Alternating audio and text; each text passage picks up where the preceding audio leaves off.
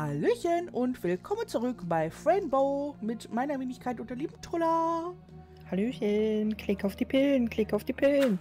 Ja, und? Huch, hä? Papa war nicht da, Mama war es egal.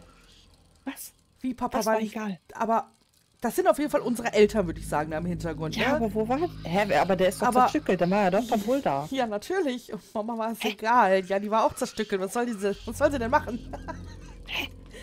ich bin verwirrt. Weißt du, bist mein geliebter Freund. Bip, bip, brrr.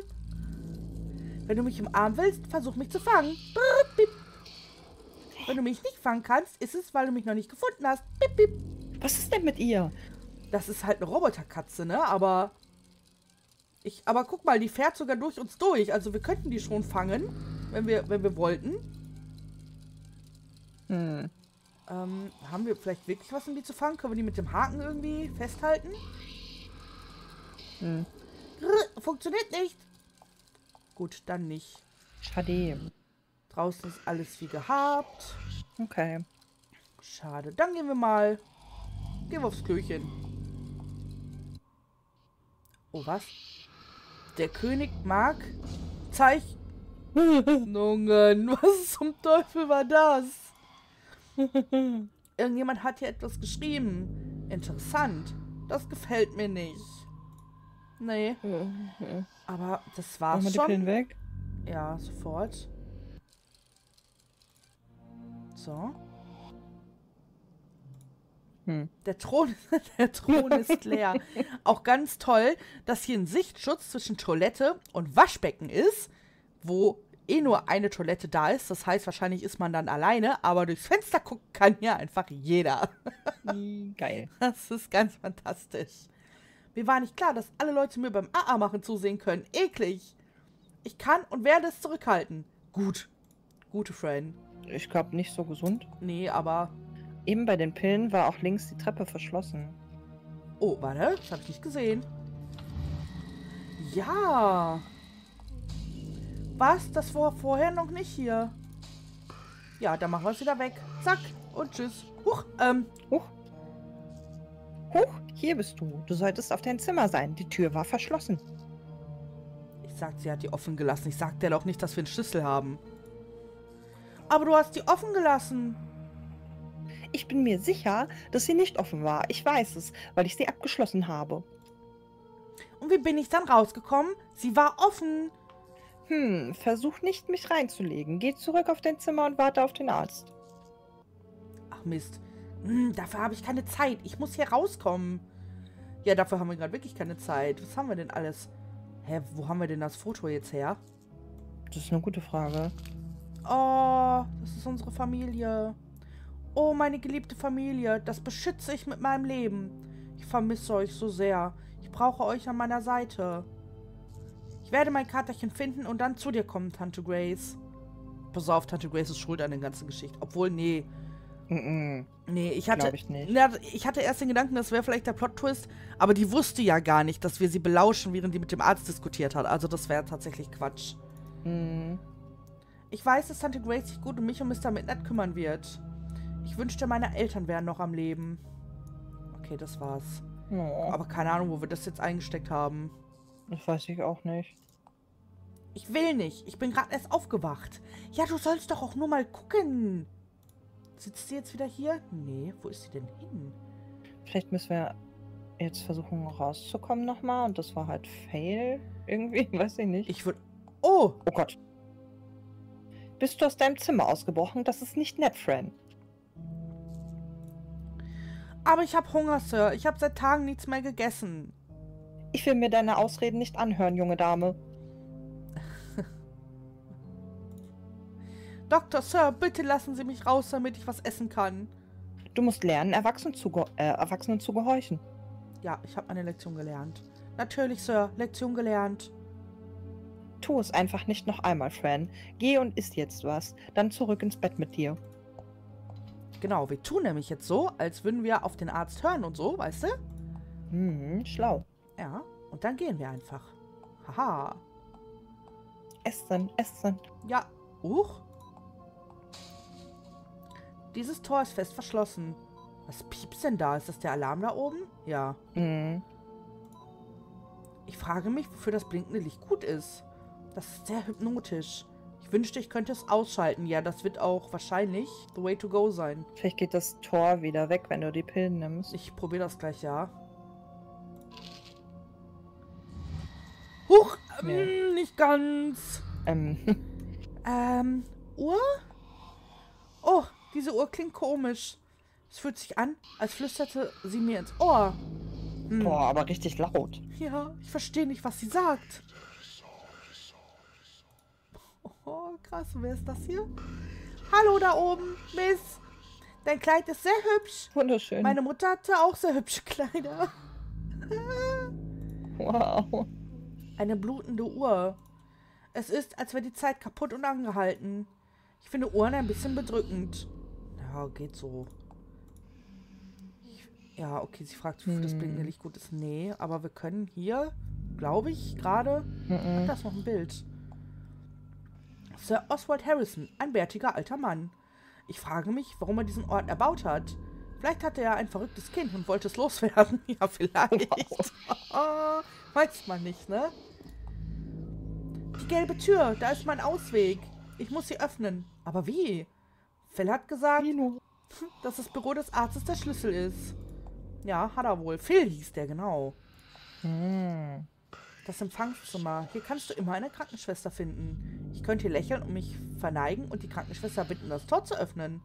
Aber andererseits würden sie wirklich glauben, dass ich wahnsinnig bin. Wahrscheinlich. Ich, ich glaube auch. Glauben sie eh schon. Ja.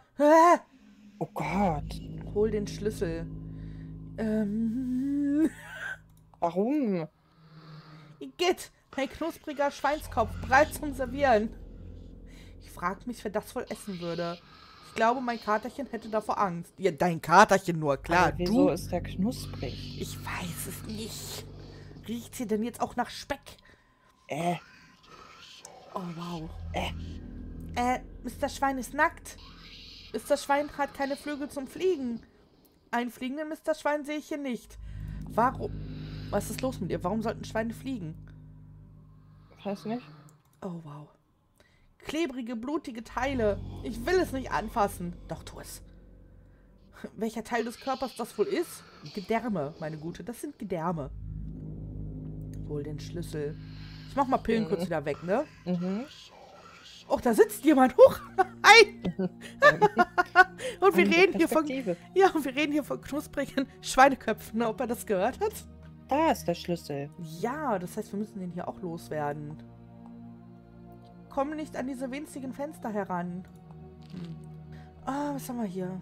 Oswald Asylum, Chef der Kinderpsychiatrie, Dr. Marcel Deren.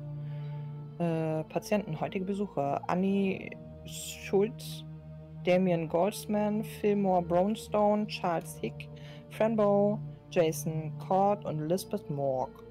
Okay, also Fillmore, Jason und Lisbeth haben Besuch bekommen heute. Ob das wichtig ist? Vielleicht. Ich weiß nicht. Weiß auch nicht. Wir schauen mal. Äh, Ah, das ist das Büro. Hey, Hände weg von der Bürotür. Entschuldigung. Da, wir kommen da schon noch rein. Ich rede mal mit ihm. Sir, der Schlüssel, der dort oben hängt, kann ich ihn haben? Klar, ich könnte dir den Schlüssel geben, wenn du mir einen Kuss gibst. Was ist denn mit ihm?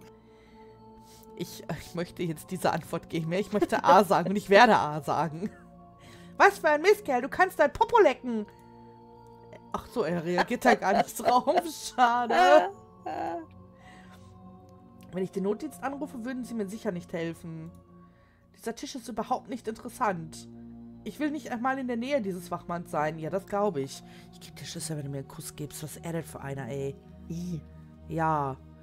Okay, das war's hier. Ah, ne, Tafel haben wir noch. Diese Tafel ist leer. Keine Kritzeleien.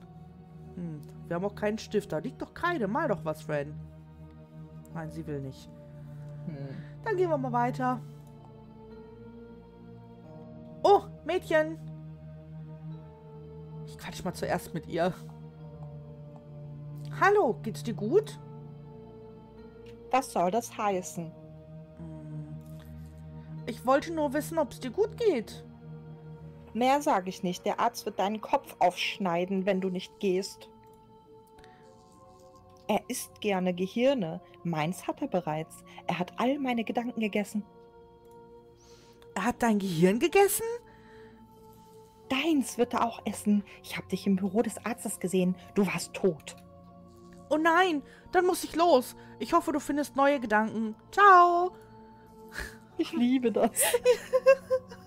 Gut. Ich glaube, es ist wieder Pilltime. Nee, einmal gucke ich zur Tür. Und dann. Es fühlt sich an, als würde eine kühle Brise der Traurigkeit durch diesen Zaun hindurch wehen. Ich frage mich, was sie dort unten wirklich tun. Vielleicht will ich es gar nicht wissen. Oh, wie traurig sie dann guckt. Hm. So, bist du bereit? Ja. Bam! Ja, und da ist wieder so ein Traumavieh. Und. Teddy, guck mal. Ih. Teddybär, was machst du da? Krabbeln. Bist du unterwegs zu einem anderen Teddybären? Sag ihm Hallo von mir, wenn du ihn, wenn du ankommst. Ähm, ob der jetzt wirklich durch die Tür krabbelt und dann in dem anderen Raum ist, das würde mich interessieren. Ich glaub nicht. Meinst du nicht? Ja, in der Zeit können wir mal mit dem Monster hier reden. Mhm. Es ist zu hoch. Vielleicht könnte ich durch ein anderes Fenster. Du sollst nicht durchs Fenster schauen. Hier, den meine ich. Ich werde dich auslachen. Ich werde dich anlügen. Ich werde dich verstecken in den Schatten. Okay, das machst du ganz toll. Lauf, kleiner Teddy, lauf. Komm, du schaffst das. Schneller! Geh, geh, geh. Schneller! Ob er wirklich ankommt? Wer weiß. Ob er wirklich richtig steht? Äh, ja, ich weiß auch nicht. Krabbel, schneller! Los, schneller! Ich, ich gehe jetzt hier hin. äh. Wow, hier gibt's einfach so viel und hier geht's auch noch weiter nach links. Fangen wir hier an. Die Standuhr ist groß und prachtvoll. Tick-Tack, Tick-Tack. Es hört nie auf. Ja, aber Uhren magst du sowieso nicht. Oh nein, die Krankenschwester ist gestorben. Ich frage mich, wer das getan hat. Ich weiß nicht. Natürlich nicht. Sie riecht echt schlimm. Fühlt sich an, als würde der Geruch an mir kleben bleiben. Lecker. Äh, Was haben wir hier? Schokolade. Mm, lecker. Ich mag keinen bitteren Kaffee. Das Menü des Tages. Hm, Pasta. Mhm. Also Pasta, Schokolade und Kaffee, den sie nicht mag. Das Signal ist komisch. Das ist bestimmt, weil wir so weit weg von allem sind. Verstehe nicht wirklich, was sie sagen. Wundert mich jetzt nicht so. Mama hat es geliebt, Rosen zu malen. Ach, mehr sagt sie nicht, okay. Teddy! Vielleicht will der andere Teddy ja doch hier hin. Das Sofa, auf dem man sitzen kann. Nein, wirklich. Boah. aber sie mag ja nicht sitzen. Ja, nee, ich kann mich nicht hinsetzen. Das Sofa ist besetzt. das riecht wie AA. Hm. Hä? Ähm. Okay. okay. Ja, ist, ist gut. Guck mal hier, ist Wenn sie das sagt. Ich mag dieses Bild nicht. Es fühlt sich an, als würde Mr. Oswald mich anstarren. Ich schätze, Mr. Oswald ist sehr alt. Alt genug, um tot zu sein. Ich mag dieses Bild nicht. Es fühlt sich an... Achso, hat er, hat, das hatten wir schon. Jetzt Handtücher? Mr. Midnight, bist du hier? Anscheinend nicht. Du meine Güte, wie soll ich nur mein Katerchen finden? Weißt du, sie ist halt gar nicht besorgt oder so, wie es hier überall aussieht. Nee, Mhm, Couch ganz ist einfach besetzt, ist doof, Kaffee ist kacke, aber sonst ist hier alles tot. Es riecht nach AA. Ja, genau, die Krankenschwester ist tot, da fliegen schon die Fliegen drumrum. Alles easy. Sie verstecken dich, weil sie dich lieben. Sie tun dir weh, weil sie dich hassen. Oh, kleiner Junge, alle schämen sich für dich. Der Arme. Oh. Oh, Mann, das tut mir leid. Ich geh mal weiter. Sie sind Hm. tot. Ah, oh, boah, lecker. Piepmatzvogel, ich mag dich. Ich wünschte, du könntest mich von ihr wegbringen. Kannst du das? Flieg weg. Worauf wartest du? Also ich, ich weiß ja, dass sie wirklich einen an der Klatsche hat, ne? Das ist mir vollkommen bewusst. Aber die ist jetzt, also die ist zehn Mhm. und redet wirklich mit B Bildern. Ich, ich weiß, es ist nicht das Weirdeste, was hier gerade abgeht, aber irgendwie ist es das, worüber ich die ganze Zeit gedanklich so stolpere. Das, irgendwie hat sie einen ganz, ganz komischen Charakter. Ja. Dieser heilige Mann hat dich ganz ausgezogen. Oh, wie hübsch all diese Rosen doch sind, oder? Deine Mama glaubt dir nicht? Ah, ich weiß, was da passiert ist. Ich möchte da nicht drüber nachdenken. Danke. Hm. Das will ich nicht. Ich habe keinen Hunger. Das ist ja auch was zu trinken, du blöde Pute. Bitte sag mir, ob du mich hören kannst. Warum hast du diese Kreatur neben dir? Sie starrt dich an. Vielleicht will sie dich auffressen. Ja, vielleicht. Nicht nur vielleicht. Ja. Okay, das ist einfach nochmal der Spielplatz. Was haben wir hier noch? Sie ist lebendig.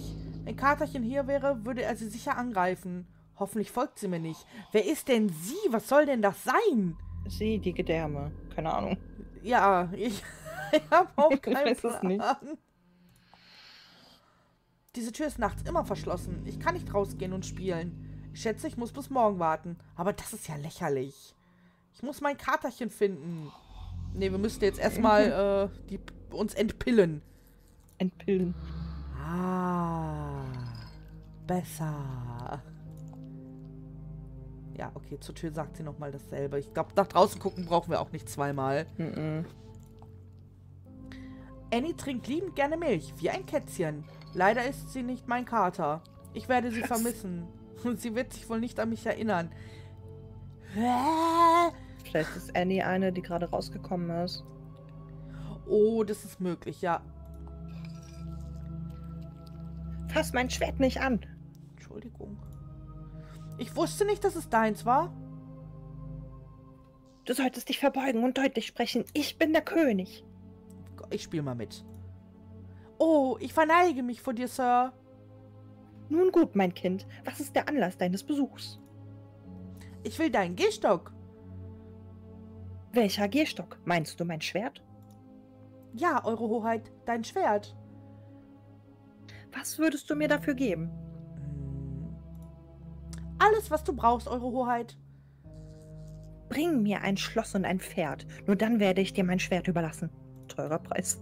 Ja, aber als Schloss, ah, weiß ich nicht, da wird das Karussell wahrscheinlich nicht zählen. Aber wir hatten das Schaukelpferd bei äh, uns im Zimmer. Stimmt. Und Schloss müssen wir mal gucken, da finden wir bestimmt was. Na, ich dachte, wir hätten vielleicht schon was. Ähm, so, jetzt Durst oder Hunger? Das will ich nicht. Ich habe keinen Hunger. Äh, äh, äh. Nee, zu den Bildern sagt sie auch nochmal dasselbe. Ach, guck mal. Ach, ist Was das vielleicht Annie? Ich weiß nicht. Ich red mal. Hey Annie, wie geht's dir? Hast du keine Angst vor mir? Nein, warum?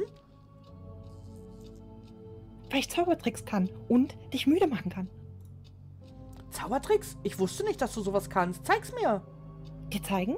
Aber das ist sehr gruselig. Mach du es lieber. Das kann ich nicht. Ich bin kein Zauberer. Ich kann dir das magische Zeug geben. Wirklich? Wuhu! Ja, das magische Zeug, das jeden einschlafen lässt. Oh, das ist unglaublich. Gewaltig und großartig. Hier, ich schenk's dir. Nimm es, aber langsam. Aha. Oh, das möchte... Achso, ich kann sie fragen, okay. Na gut, wie funktioniert das?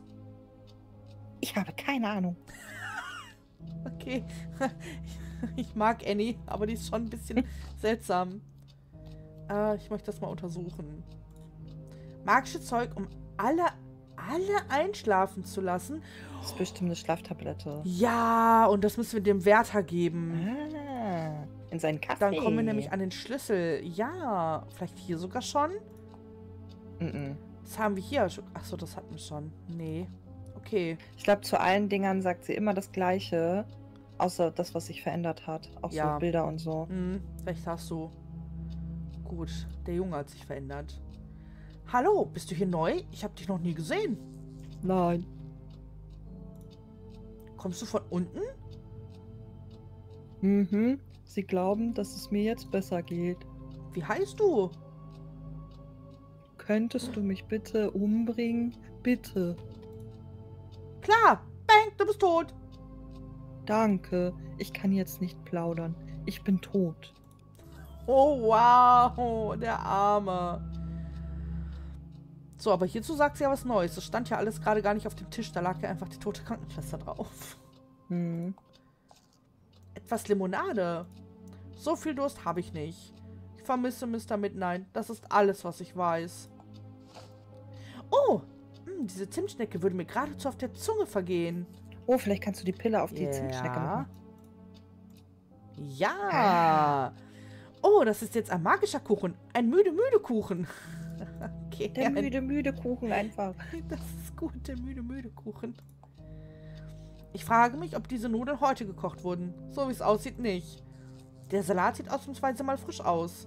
Milchige Milch. Dieser Karton ist sicher ganz sauer, wie immer. Oh, wow, lecker. Der Karton ist sauer oder die Milch? Sie hat gesagt, der Karton ist sauer. Hallo. Oh, hallo Fran. Wie geht es dir heute?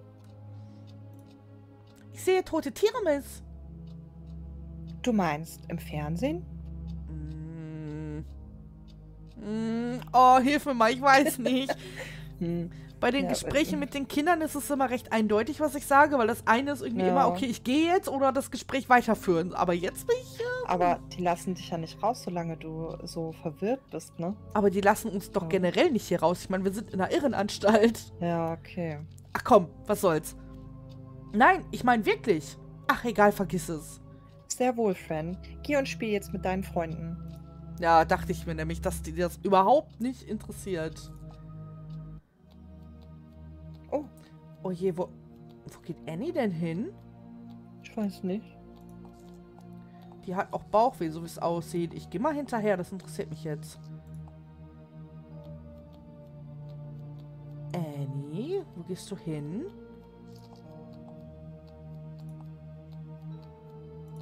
Kannst du vielleicht auch ein bisschen schneller? So? Nur Nein. ein bisschen? Sie hat mini, mini winzige Beine. Ja. Ich meine, kann natürlich auch sein, dass das jetzt überhaupt gar keinen Sinn hat, dass wir da hinterherlaufen. Aber bisher hat sich noch kein Charakter großartig durch die Welt bewegt. Deswegen bin ich da jetzt schon neugierig. Das stimmt. Ach, Annie. Jetzt geht sie einfach nur in ihr Zimmer. Das ja, kann sein, kann sein, aber vielleicht macht sie da noch irgendwas. So. Okay. Hä? Annie. Hallo Wohin des. Wegs? Ich kann aber auch gar nicht mit ihr interagieren. Das Hä? ist un Hä, das ist doch unser Bett. Jetzt sagt mir nicht, sie geht einfach wieder zurück. Habe das wirklich jetzt ganz umsonst gemacht? Geht sie einfach wieder Äh, zurück? Ja. Oh, okay. Also wenn sie da jetzt rausgeht, weißt du Bescheid. Ja, ich guck. Ich gehe davon aus. Ja, ja, ja. Okay, komm, dann, dann lassen wir Nun. Annie jetzt mal Annie sein und gucken einfach in der nächsten Folge, wie wir weitermachen. Ja, das ist eine gute Idee. Außer wir laufen jetzt noch hundertmal hinterher. Geht auch. Ge- äh, Geht auch, würde ich aber nicht so bevorzugen, muss ich zugeben. Okay, nicht. Okay, bis zur nächsten Folge. Tschüssi.